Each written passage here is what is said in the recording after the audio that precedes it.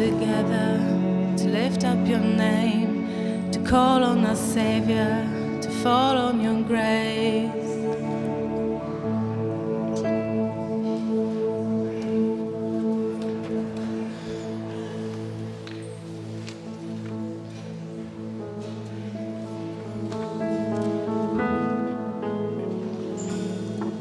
Well, good morning.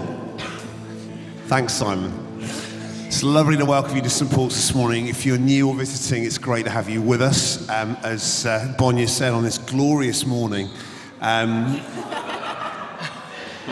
spring has truly sprung, or some leak has truly sprung, anyway. But I'm Chris, I'm the vicar here. It's great to have you with us. Tap, save us. And I'm Tamlin, and I'm part of the team here, and it's great to see you. And a particular welcome if you're new or here for the first time. We would love to get to know you, so do say hi afterwards. And also, just well done on getting here on time. I mean, technically it's 8:19, so you know, really great job. I think it was tricky for me, so. Was it? just, Good. just you. Oscar's still not here, is he? no, he's coming to the 11. He's coming to the 11.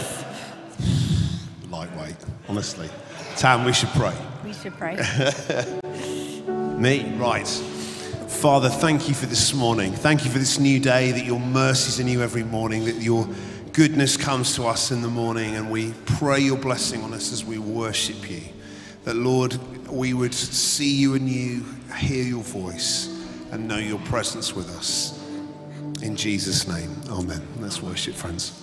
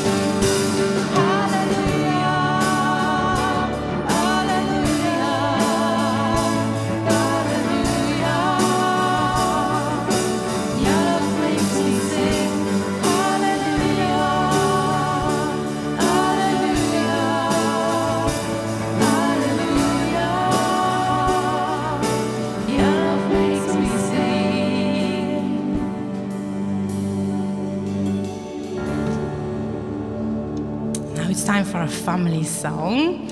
Uh, so there's plenty of room in the front. We're going to have uh, Rebecca show us actions. Please join us.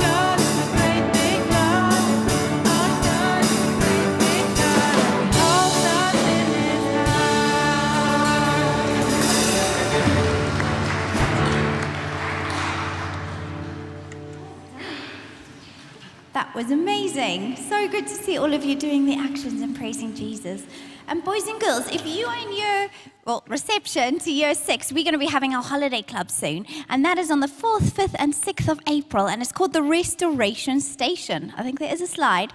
But if you haven't booked up and you're not away and would like to come, ask your mummies and daddies to book you And We'd love to see as many of you there. Okay, so that is coming up in the school holidays. Who's excited for the holidays? Yes, yeah, a few, a few hands there.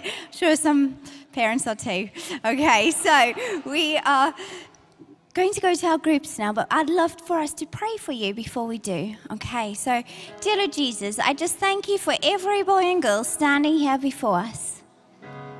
Lord, I pray that you may bless them now as they go to their groups, that they will know your love and that they'll learn more about you.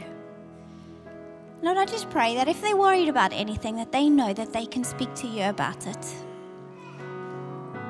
So, Lord, bless them now and all the leaders that are doing the groups too. Amen. Amen. If you don't know where you're going, find someone in a red t shirt and they'll be able to show you where to go.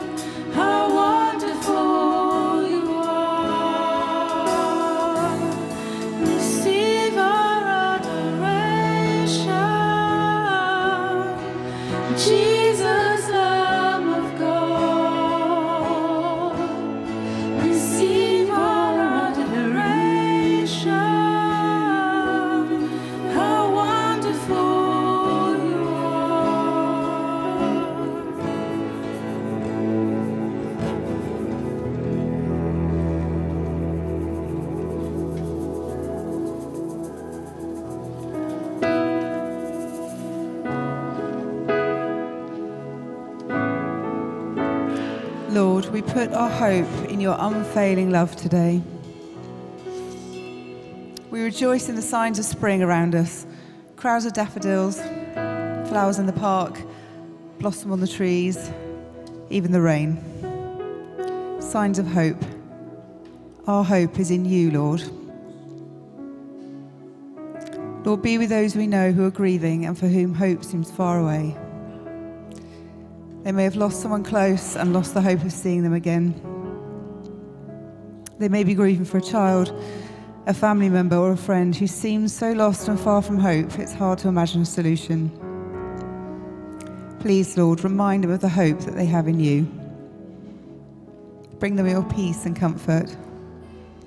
Give them strength for today and bright hope for tomorrow. Heavenly Father, will you bring hope to those struggling financially? With interest rates rising and people fearing being able to pay their mortgage, will you bring wisdom to those controlling and affecting the economy? Help them to put those in need first. Help them to work for the good of the many and not for the few. And Lord, we pray for those affected by the tornado in Mississippi and Alabama on Friday, for those missing or have lost loved ones, for those whose homes have been destroyed. Will you bring them hope for their future, finding the missing, rebuilding lives? And Lord, just in a short moment of silence, we lift up to you the people of Mississippi, the people affected by the earthquake in Turkey and Syria, and the other parts of the world that you might have laid on our hearts. We just lift them up to you now, Lord.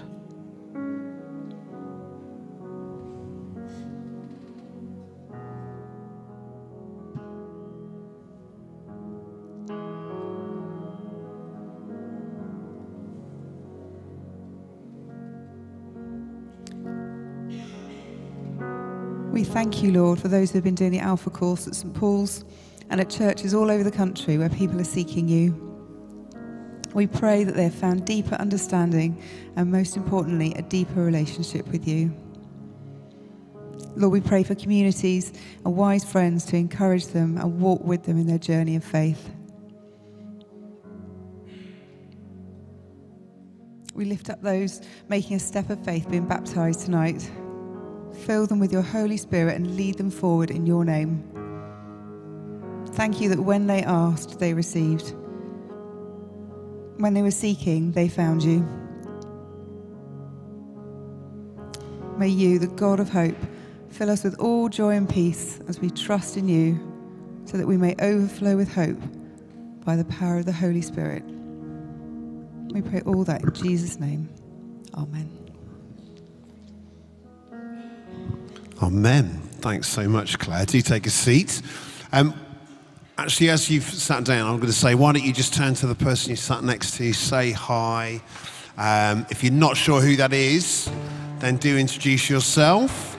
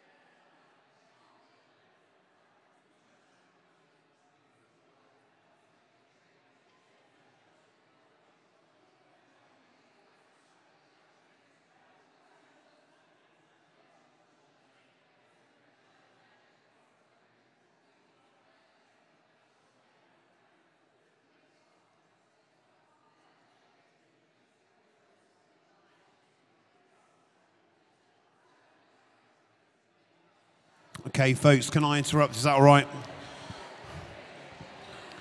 Mm, not by the sound of it.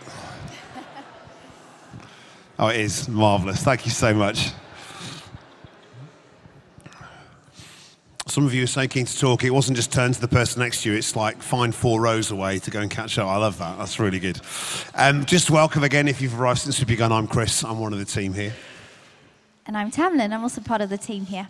You're kicking off. Am I going first? No, I'm going first. You're going I'm going first. first. This Tuesday night, uh, it's our next Hungry evening. Hungry is an evening where we gather for an hour from 8 till 9 to just intentionally seek the presence of God in worship, um, space to listen and pray, minister to one another, listen to God for each other, uh, and whatever God wants to do, really. We don't have a massive agenda for it. So that's happening this Tuesday evening. If you've not been before, I really encourage you to go. It's a brilliant evening. And if you're a young adult, I think I'm right, there's food beforehand. So if you're 18 to 30, uh, then from 6.30, uh, there's a meal, so join in with that, and that's part of our regular kind of weekly young adult nights, I think. That is I'm looking, right. I got it right. That's good. And then on Thursday night, for the women, we're having a women's event here at St. Paul's. And um, the title is Real Lives, Real Faith. And we just kind of want to look at how do we do faith in the ordinary, in the busyness, um, in the mundane, when life's a, little bit crazy. How do we do it? And we're going to be hearing from three different women within our church. Um, Ella Moore, she's in groups, I think. Emma Buck at the back, she's going to be uh, speaking to us as well. And then also Kari. I thought I saw Kari earlier, but she is here. she is. She's What's also hiding from you She's behind hiding. the. Oh, there you are. I really couldn't see you sitting on the sofa. So um, we're going to be having a chance just to hear from those ladies as well as a time of worship. There's also going to be a glass of bubbly beforehand and some canapes, and we'd love for you to join us. But please do sign up so we know um, who to expect. If you're struggling to sign up online, I'm going to be at the back afterwards, and I'll be able to sign you up so you don't have to worry about the online bits if that's a little bit tricky. But we would really love to see as many women as possible. Fab, sounds great. That'll be really good on Thursday. Um, just want to talk through some of the Easter services um, that are, uh, we're doing this year. So, beginning uh, next week, which is Palm Sunday, uh, beginning of Holy Week, we've got our usual morning uh, kind of services, and then in the evening is our next New Wine celebration. We've got Paul and Becky Harcourt who are coming. Uh, Paul and Becky currently lead New Wine. They're about to hand over to Rich Johnson, um, and um, they're great friends of ours, and we're lo- really excited to have them coming on Palm Sunday. So that's Paul and Becky Harcourt speaking next Sunday evening at our uh, New Wine celebration. So that's 6:30 here, and we're looking forward to welcoming folk from other churches as well for that. Um, then into Holy Week, the week leading up to Easter. We obviously have our holiday club Tuesday, Wednesday, Thursday. Um, still, still time to sign your children up for that. It's going to be brilliant. Um, and then on Maundy Thursday evening, uh, so that's uh, eight till nine, I think, is a kind of quiet Maundy Thursday evening um, service with communion. Um, that will be taking place in here. Tim's going to be leading that. And then on Good Friday, so to talk through Good Friday, a few little changes with Good Friday this year. Um, firstly, we're going to meet, if you'd like to join the Walk of Witness, which is, uh, we're, we're, we're going to, rather than sort of meet in kind of various places, I, I want to invite all of us to come who are going to be part of that on Friday to come to St Paul's at 9 o'clock or 9.15 for, uh, uh, not, I was going to say pastries then, it's hot cross buns. Hot cross buns, I must remember. Hot cross buns and coffee, tea, um, and then we'll, uh, at half nine, we're going to walk down towards St Mary's uh, and join in with other churches there for the Walk of Witness.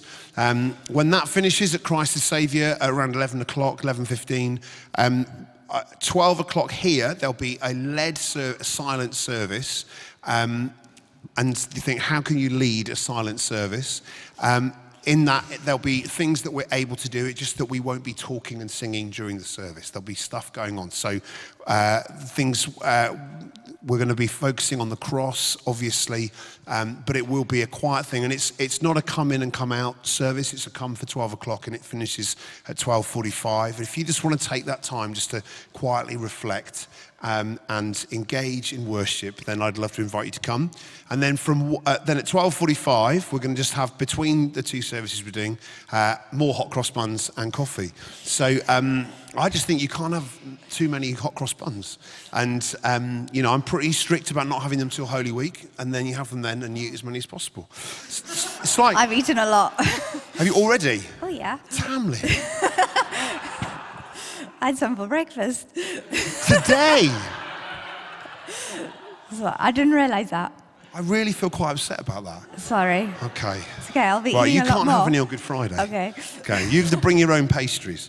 Um, anyway, and then and then from one till two, we have a worship together service for Good Friday. So uh, all ages together. Um, again, it'll be it won't be kind of like all singing, all dancing, loud, bouncing kind of uh, worship service. It's going to be focused on the cross, but it is going to be accessible for all ages. So we'd love to invite you to come to that. Uh, and then on Easter Sunday, we've got our worship together celebrations in the morning. Our eight o'clock communion service, obviously. Uh, 9.15 and 11 then 6.30 we've got baptisms.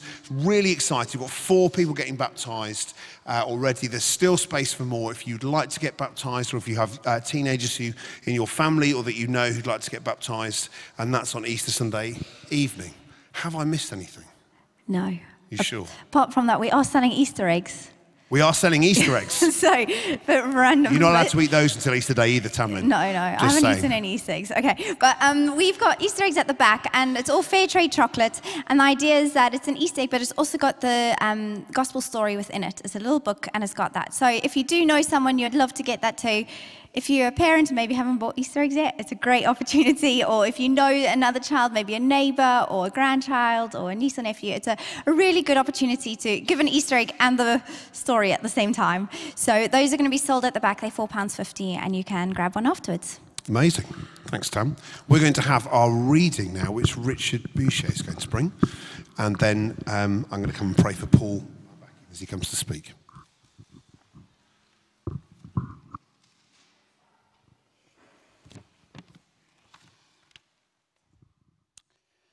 The reading is taken from John chapter 9, verses 1 to 7. Jesus heals a man born blind. As Jesus was walking along, he saw a man who had been blind from birth. Rabbi, his disciples asked him, why was this man born blind? Was it because his own sins or his parents' sins?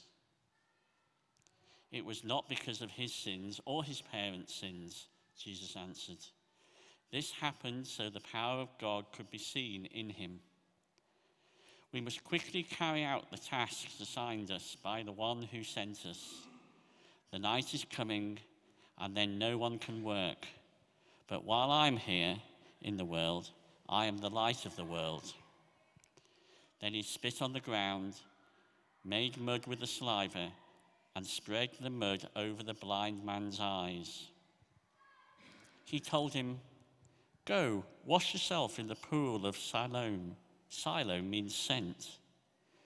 So the man went and washed and came back seeing. Thanks, Richard. Paul, come on up. We're going to pray for Paul as he comes to speak this morning. Well, Father, thank you for Paul. Thank you for the words you've given him. Thank you, Father, for all that he's prepared. And I pray through him you'd speak to us. So give us ears to hear you and hearts that are open to saying yes to following you, Jesus. Amen. Amen.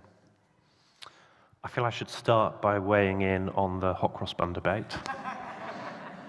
and I am 100% on Team Tamlin. I, d- I don't know if, uh, if any of you have tried the, the hot cross buns that have got apple and cinnamon in them, but I don't think God would make something that good and limit it to one week a year. So um, we'll pick up uh, that, that at PCC tomorrow night, Chris. Anyway, uh, th- thank you for the introduction, Chris. Uh, for those of you who don't know me, um, I've been coming to St. Paul's for nearly uh, five years now with my wife Lucy and our two children, Clemmy and Felix. Um, Felix has only been coming for two of those years because he is two. Um, my relationship with St. Paul's goes back a little longer than that because I remember when I was a teenager, I used to come to the evening services here, having grown up in Ealing, because that was the, the cool thing to do if you lived in my uh, particular uh, little world back then. Uh, and recently I've been part of PCC, which um, is why we'll pick up hot cross buns there tomorrow night, um, and on the standing committee. So I support Chris and the team and the fantastic work that they do here. Um, I was going to start with some good news and some bad news. The bad news is that I've not delivered one of these sermons in a very long time, and that means there's a lot of scope for this to go very wrong. But the good news is that that probably means I'll be quite short.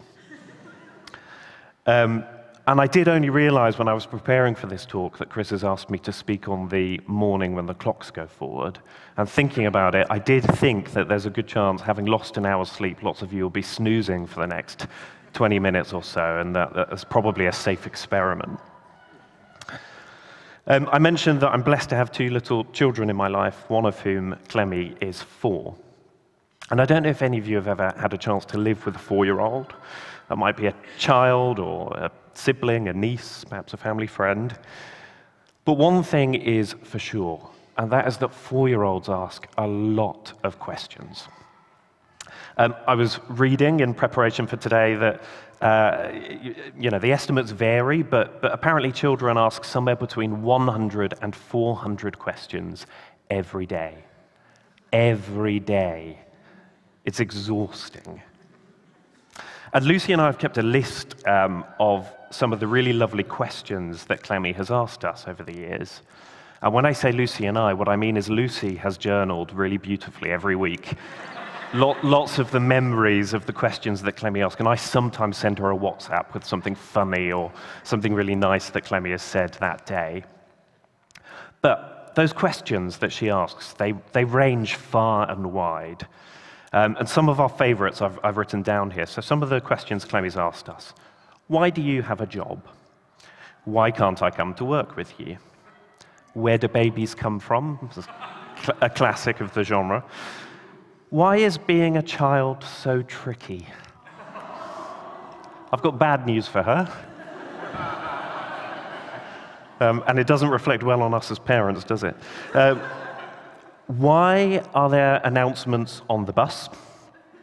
Where is the ladder up to heaven? Mummy, when can I marry you? Why is it easier to swim underwater? And why is it so peaceful underwater? Now, each of those questions requires a really different answer. And we find ourselves explaining all sorts of wonderful, weird answers to Clemmy with analogies loads of the time. Lots of the times we're trying to really understand the question behind her question. But very often we find ourselves having to give a short answer and then spend a long time explaining the why. Now, why is this relevant? Well, because in the passage we've just heard, we see this incredible miracle, but we also see this passage pivot around a question and a really tricky question that Jesus' disciples ask him. And he doesn't just answer the question, but he spends time explaining the why, which we'll go on to talk about today. Jumping into the passage, uh, one of the first things that, that I noticed when reflecting on this passage is that John makes really clear that it was Jesus that noticed the man, blind from birth. I think this is important because in lots of the miracle stories in the Gospels, people seek out Jesus. If we think about the seven miracle stories in John that we've been exploring in recent Sundays, it was Jesus' mother that asked him to turn water into wine. It was the royal official who approached Jesus and asked him to heal his son. And it was at the request of Martha and Mary that Jesus raised Lazarus from the dead. But in the passage we've just heard, it was Jesus who passed by and he noticed. And he stopped and he interacted with the man. And I think there's a huge encouragement in this. Because Jesus brings God's love, he brings God's new creation, he brings God's healing to this man who I think it's probably safe to imagine felt completely unworthy, who didn't approach Jesus himself. Someone who'd clearly been told, as we see later in the passage, that he'd been born blind because of either the sins of his parents or even his sins. And what we see here is a small example of Jesus living out God's truth that God's love is relentless and it pursues us, even if sometimes we don't feel worthy of pursuing Him. And as I was praying and thinking about this today, I felt that there were probably some people here who can sometimes feel unworthy. who don't feel holy enough to meet with God, who look at people who sometimes come to the front at the end of a service or who serve on teams or lead life groups as worthy but don't feel that themselves. And this is just a small encouragement that that's not how Jesus works. Jesus notices the man in this story. God notices you, however you feel, and wants to meet with you in a way that could change you forever. We then got onto this really challenging question that this passage pivots around, where the disciples ask him, Rabbi, who sinned, this man or his parents, that he was born blind? And we know that it was a widely held belief amongst the Jewish community, or some of the Jewish community at that time, that suffering was due to sin. Some even believed that infants could sin in the womb Hence the question if he was born blind, did he sin and cause this blindness? Whereas others believed that sin could be passed down generationally through parents, grandparents, leading to punishment from God. Notice that the disciples are asking which of these is true. They're not challenging and thinking about whether it could be something else entirely. And Jesus' response is notable partly because it's so direct. Neither this man nor his parents sinned. So often, Jesus answers a question with a parable or a question. Again, doing some research, um, apparently Jesus is recorded as asking 307 questions in the Gospels, but he's only asked 183 himself. And what's remarkable is of those 183 questions, how few Jesus gives a really direct response to, which makes this direct response, neither this man nor his parents sinned, all the more remarkable and notable. I think it's only, you know, scholars disagree, it's somewhere between three to 15 that Jesus really gives a direct answer to. So we should pay attention when he does. Neither this man nor his parents sinned. He firmly rejects the idea that there is some sort of sin being punished that is causing this man's blindness. And in doing so, he rejects the idea that God's justice is like some sort of balanced equation where good actions lead to good results and bad actions lead to punishment. That whole idea, that belief system of karma, is something that we in Christian theology and teaching reject, acknowledging instead what we read in Romans that all of us fall short of the glory of God and all are justified freely by His grace through the redemption that came from Christ Jesus. And this is a really basic tenet of Christian faith, but I really felt quite strongly as I was preparing this morning that there are some people that need to hear this today. Whatever hardship or difficulty you're going through, it's not a punishment from God. Because that's not how God's justice works. His love and grace is far, far bigger than that. I'll say that again because I think it's important. Whatever hardship or difficulty you are going through, it's not a punishment from God. That's not how God's justice works. His love and grace is far, far bigger than that. And we can start to get excited by the Easter story when we see God's justice at work. Tom Wright, the former Bishop of Durham, puts it like this Jesus firmly resists any such analysis of how the world is ordered.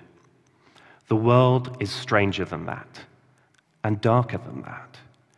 And the light of God's powerful, loving justice shines more brightly than that.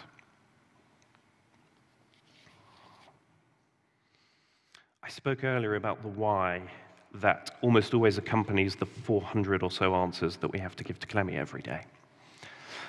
And the why in Jesus' answer here, I think, is a little confusing at first, and it's hugely challenging when you start to get your head around it. Because after rejecting the idea that there's some sort of simple justice equation on offer here, he says this This has happened so that the work of God might be displayed in him. I think this is all about our reaction to the challenges that we come about in our everyday lives as we live out our faiths. As we encounter difficulty, and that could be our own, could be those of loved ones, could be colleagues, strangers, do we look for someone to blame? Do we start thinking about that simple, balanced equation? Or do we start looking for what God might be doing and where we can join in? I love the way that Eugene Peterson translates this passage in the message. You're asking the wrong question. You're looking for someone to blame. There is no such cause effect here. Look instead for what God can do. Jesus isn't interested in dwelling on the why this man was born blind or looking for some sort of neat and perfect theological explanation. He's instead so much more interested in what God the Father is at work doing and where he can join in. And I think that's part of the challenge for us today. How often are we like the disciples? Maybe we're not asking questions about inherited sin, but asking who to blame for the way the world is, for the way of our challenges. And how much time do we think and spend thinking about what Jesus is already doing and how we can demonstrate the love of God in the challenges that we face or others face? And Jesus is pretty clear on the urgency here, too. As long as it is day, we must do the works of him who sent me. Night is coming. Notice the we. We must do the works of him who sent me. And notice the call to get on with it because night is coming. There's an urgency about our response to the challenges that we face, the challenges of others, and our response must be like Jesus to do the works of Him, the Father, who sent Jesus. And I think we're lucky at St. Paul's that there are so many ways that we can get stuck in to do the works. That could be through one of the many established ministries that we already have. Healing on the streets would be fitting given the, the topic of today's sermon. But you've also got the Hub, the Food Bank, the Community School, Christians Against Poverty, Beeson, Beloved, the Soup Kitchen, Prison Ministry, the Wholeness Centre. Probably ones I missed. Or it could be something for you to explore in your everyday life, at work, at home, at school. What are the responses of God that you can see and join in with?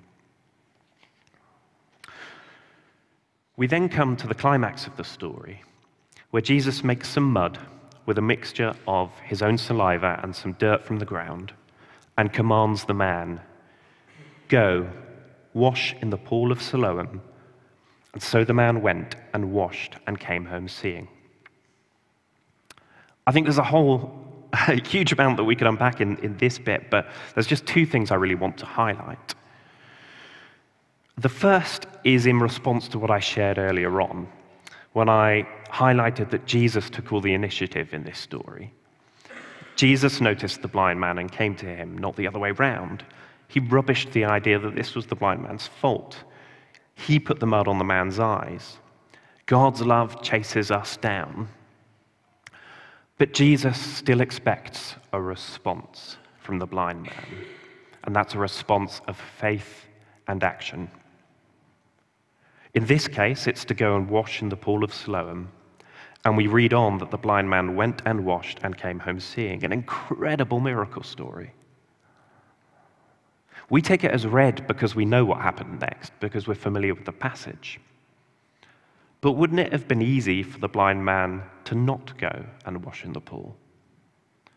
I mean, just put yourself in his shoes for a second. A man comes up to you, spits in your eyes, goes on and tells you to wash in a very specific pool and that you'll come home seeing. Not only that, but you've grown up being told that you are blind because it's your fault. You've had that conditioned into you for decades. I think I would have been able to think of a few reasons not to follow this crazy man's instructions. Jesus approaches the blind man, but he asks for a response and the blind man takes action.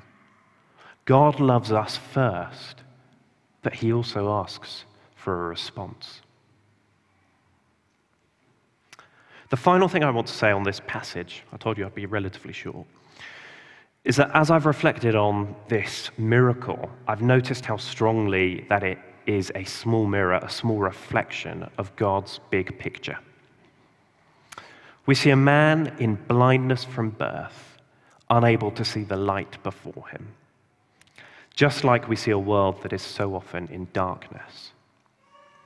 And just like the man is radically changed by an interaction with Jesus, we know that our world was radically changed by an interaction with God incarnate, Jesus Christ. And that through Jesus, the eyes of the world were open, are open, and will be open to see the light, which he explains in verse 5 of this passage himself when he says that while I am in the world, I am the light of the world. Just like we read in the first chapter of John, where John so beautifully explains that Jesus is the true light that gives light to everyone who is coming into the world. If we think back right to the beginning of the Bible at the start of Genesis, God is faced with darkness and chaos. And his response is to create light, a whole new creation. He doesn't start with an in depth analysis of why there is chaos. And as we start getting excited about Easter, we know that just like the blind man's eyes, God is seeking to make things new, to bring about his new creation, a new heaven and a new earth, to shine his light, and that we are all invited into that. We've cantered through quite a lot here in this passage. But I think I would just summarize and finish by saying this Jesus notices you, even like with the blind man, when you don't feel noticeable. We reject that idea of karma and justice being like some sort of slot machine. Hardship is not some sort of punishment from God because His grace is sufficient. And as we look to Easter, we know that his justice is much bigger than that. And we are invited to respond, just like the blind man took action. We are part of God's new creation breaking through in the miraculous, in the everyday. And that's going to look different for every single one of us here this morning. But the invitation is here.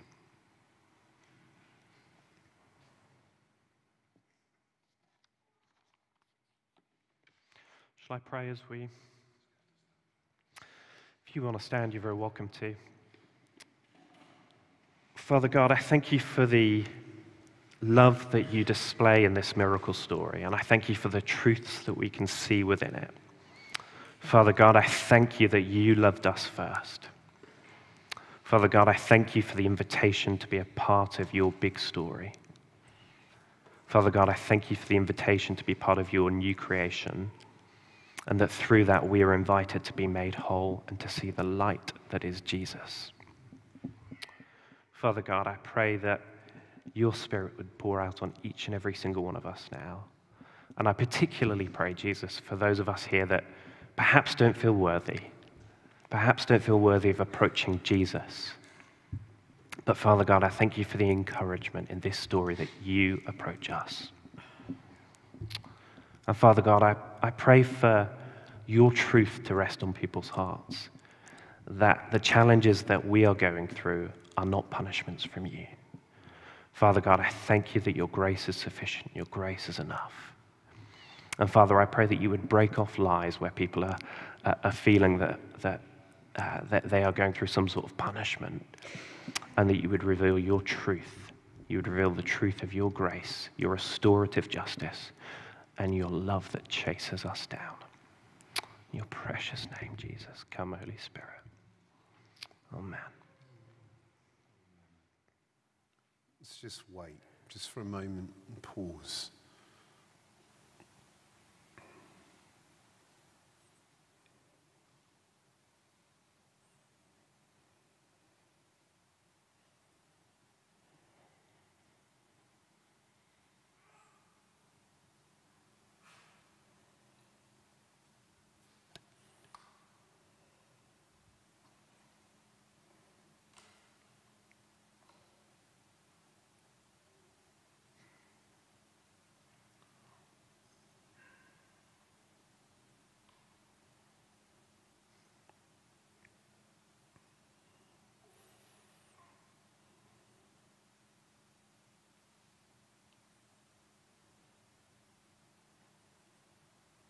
Jesus.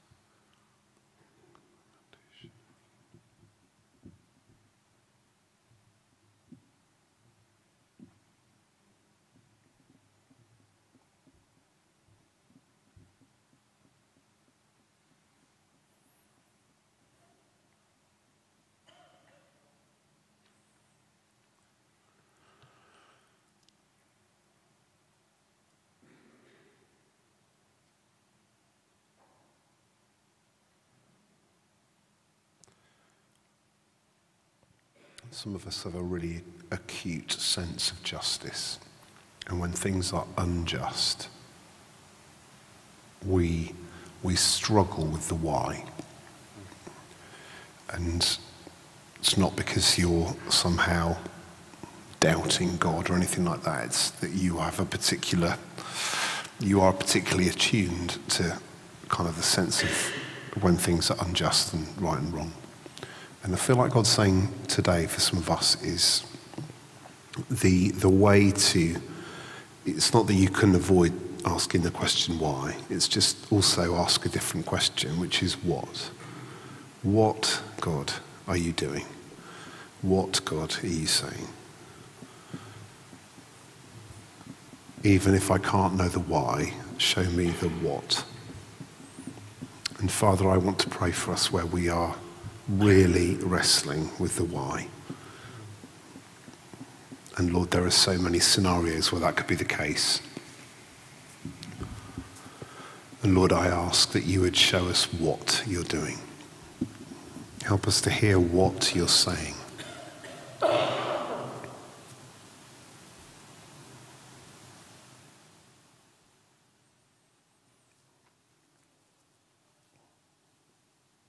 In a going to into communion, and um, that's a great place to come with those questions.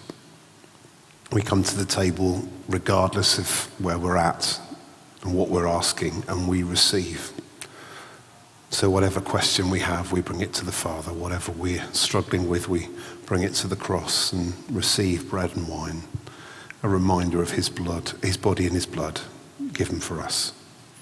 But I just want to say too, we'd love to pray for anyone this morning who is wrestling with that question, is feeling that sense of injustice, is feeling like this isn't fair. Um, we'd love to pray that God would show you what He is doing and what He is saying. Um, but also, we'd love to pray for healing for anyone here, body, mind, or spirit, anything you'd like prayer for.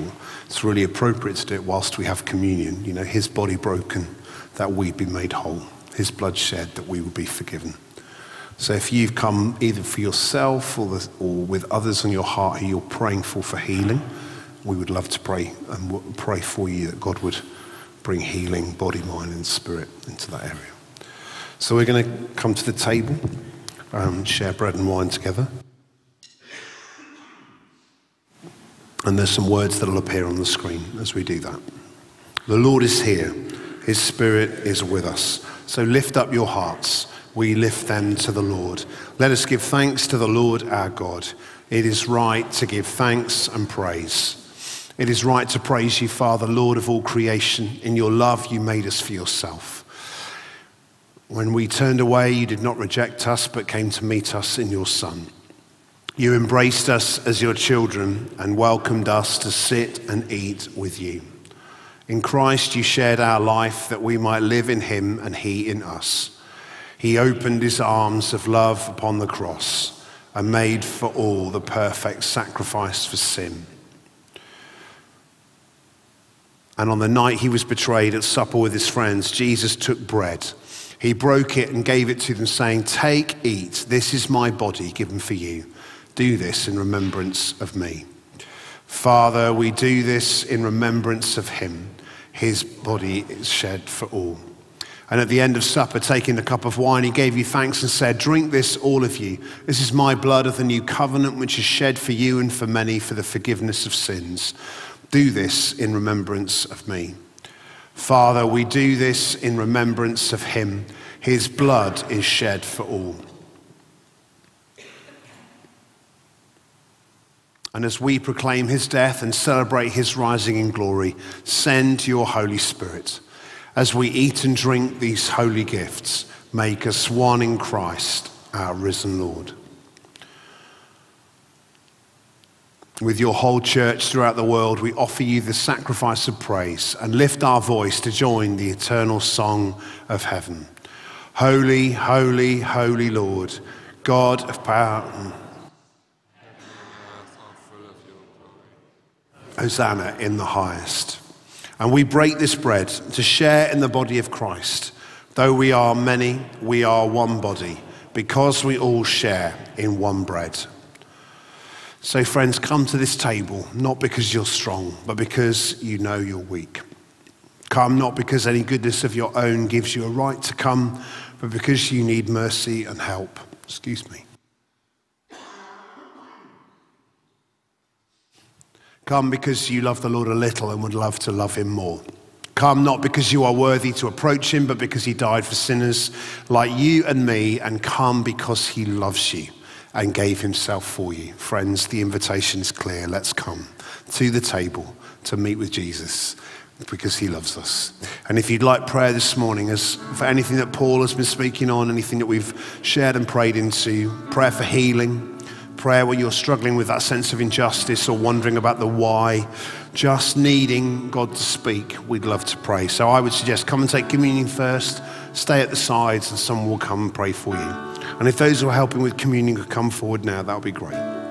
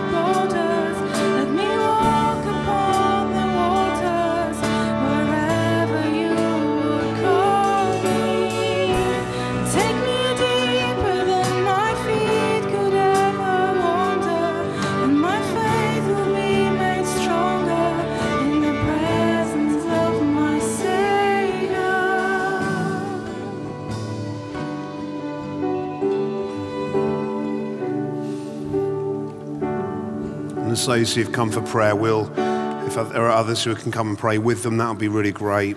And if you'd like prayer, we're going to sing our final song in a moment, and there's a chance to come forward and be prayed for by one of the team then. But Father, I want to thank you that as we come empty handed, aware of our sin, experiencing our brokenness, recognizing our frailty, Jesus, thank you that we look to you. So, Father, help us to fix our eyes on Jesus, the author and the perfecter of our faith, who for the joy set before him endured the cross, scorning its shame. For that joy of seeing his children, sons and daughters, raised up in life. So we're going to continue in worship and sing our final song. If you'd like to stand as we do that, if you're able, that would be brilliant.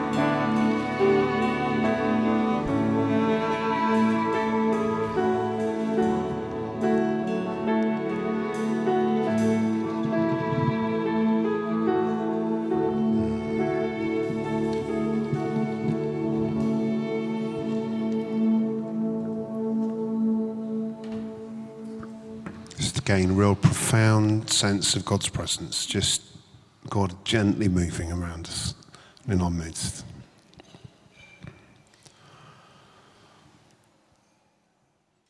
And we just bless what you're doing, Lord.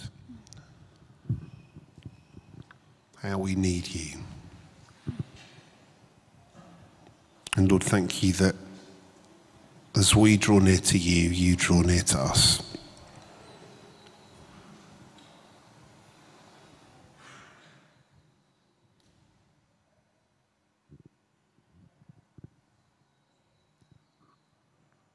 Amen.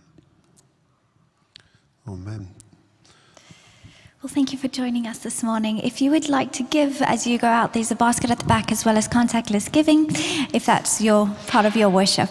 Um, otherwise, if you're new, we'd love to get to know you. So please do come say hi to us at the back at the welcome desk. And I will also be at the back if you do want to book a ticket for our women's event. Otherwise, we'd love to see you next week. Amazing. Let me pray God's blessing on us uh, as we finish. Or the Lord bless you and keep you. The Lord make his face to shine upon you and be gracious to you. And the Lord turn his face towards you and grant you his peace. And the blessing of God Almighty, Father, Son, and Holy Spirit be upon you, remain with you, with those you love and pray for this day and always. Amen. Amen. Yeah, as Tamara said, do come and say hi. Head to the bookshop. We'd love to catch up and, and uh, chat over refreshments as well.